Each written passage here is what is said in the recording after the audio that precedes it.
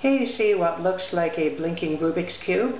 It's actually nine very small boxes purchased from the container store contained within a larger box which was originally intended to hold a hockey puck of all things. You can see the back is still transparent and you can see everything blinking through it. My sloppy wiring job there. All the wires go out through a hole that I cut in the bottom right of the unit going through a shrink wrapped cable to where they are bundled into two separate chunks and connected to my trusty Arduino. Uh, this here is the ground pin which is shared between all of them.